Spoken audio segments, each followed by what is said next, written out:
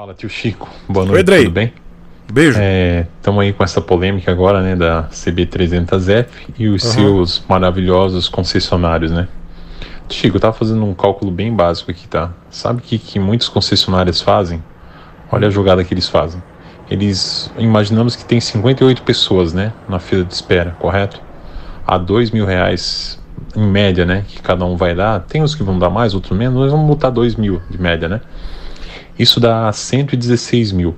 Com esses 116 mil, a concessionária ela já pode antecipar pelo menos mais oito motos da Honda. Pegando, no caso, ele pegou o preço antigo, entendeu? Porque agora já aumentou na fábrica da Honda, provavelmente vai aumentar um pouco para eles também. E quando chega, eles vão repassar mais esse valor por cliente. Então, o que acontece? Eu até fiz questão hoje de ligar para a concessionária daquele meu amigo que eu estava iniciando a, a, negociação lá no início, né? Hum. E aqui na região de, de Santa Catarina, aqui no, no Vale do Itajaí, eles estão pedindo, eles estavam pedindo, né, 26.990 na moto. Agora foi para 28.990 e ele falou fácil. que o prazo de entrega é para 60 dias. Hum. Isso se eu fizer o cadastro antecipando aqueles mil reais, né?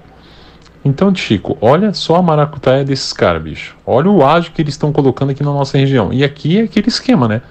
É tudo, a Aço aqui é tudo, é, faz, sabe? Faz uma formação de cartel e é esse preço não tem. Tu pode, em qualquer lugar é tudo o mesmo valor, entendeu? É brincadeira, né? E é isso aí, tio. Eu só tô aqui mesmo para agradecer o tio Chico que eu me livrei disso aí, sabe? Eu tinha um formigante, né? Era meio apressado para as coisas e hoje, cara, eu tô muito tranquilo, graças ao Chico aí, os conselhos do Chico, né? Que a gente acompanha o canal desde o ano passado. E vamos aguardar. Eu não tenho pressa, eu queria que os, os brasileiros também fossem mais conscientes, mas infelizmente, pelo que a gente vê na fila de espera aí, infelizmente não são, né? Por isso que os concessionários e, e a própria Honda abusa, porque a Honda viu que pensou o seguinte: poxa, a gente não está dando conta. Cara, vamos aumentar 2 mil, vai vender do mesmo jeito, vamos. Pensa quantas motos a gente vende por mês colocando mais 2 mil reais em cima, né? Então é isso, tio Chico. Boa noite aí, um, só um desabafo e um agradecimento ao tio Chico. Um beijo, Andrei. E o pior de tudo é que a Honda do Brasil, ela destruiu, destruiu o custo-benefício da CB300F. Destruiu acabou. Aumentando dois mil reais no preço público sugerido, ela vai bater 28, 30 mil reais na concorrência, na, na, nos concessionários. E aí você vai raciocinar o seguinte: claro que Joca vai crescer o olho, vai aumentar o preço das ontes. Vai. Vai aumentar esse próximo lote, porque, bom, se agora os caras estão praticando 28, eu vou aumentar para 32. E é isso. Mas, se Joca for esperto, ele vai botar 28 mil, vai manter os 28 mil, vai chegar lá na concessionária 29, 30. O cabra vai pensar o seguinte: eu vou comprar uma moto de 24 cavalos e meio, eu vou comprar umas Ontes.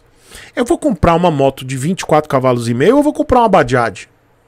Dominar 400, que ainda está restrita ao estado de São Paulo.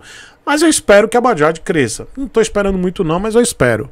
Então, é, Agora a Honda ela tá realmente com a faca e o queijo na mão, mas ela, ela destruiu ontem todo o custo-benefício da CB300F. Na minha opinião, ela acabou com o custo-benefício. Subindo, parece pouco, né? Dois mil reais no preço público sugerido. Só que, galera, isso dá margem para o concessionário botar 28 mil. É isso que está sendo praticado, galera.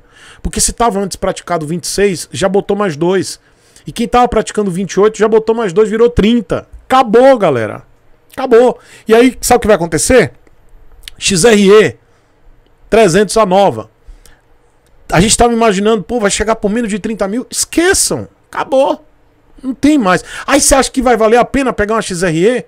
Tem tanta moto aí que. Ah, mas ela vai ser cabriocrar, que vai ser do caramba. Vai, vai ser legal, mas vai valer a pena? Você acha que vai valer a pena você pagar quase preço de Zontes, preço de G310 GS, motos com muito mais cavalaria? Hum? Então, não, é, eu realmente eu fiquei decepcionado, fiquei mesmo. Mas, é, assim, principalmente porque eu sei que concessionário vai botar um ágio. Acabou. Não tem. Se a Honda praticasse preço público sugerido, o concessionário praticasse preço, preço público sugerido, show de bola, aumentou lá. Não seria legal. Mas a gente, veria assim, pô, mas tá, aumentou dois mil reais, acho que não vai aumentar, aumentar mais no resto do ano. Não, que nada, rapaz. Daqui a pouco tem outro aumento aí. Porque tem um, monte de comedor de capim que vai topar pagar 28, 30 mil. As pessoas estão doentes, galera. Eu tô dizendo isso porque eu recebo mensagem de gente que está realmente com problema de ansiedade. As pessoas estão realmente com problemas. As pessoas estão ansiosas e não tem nem dinheiro. Não tem dinheiro, mas, ah, mas vai aumentar. Vai aumentar, eu tenho que comprar logo porque vai aumentar. Eu fico, meu Deus do céu, velho. Ai, meu Deus.